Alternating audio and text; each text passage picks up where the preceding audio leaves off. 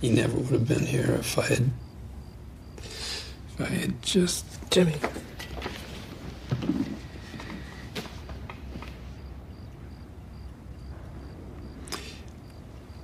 The nuns back in Cicero would send me to hell for saying it, but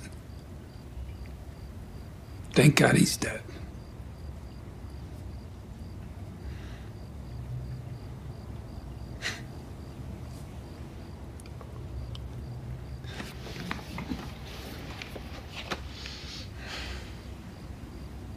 You want some coffee?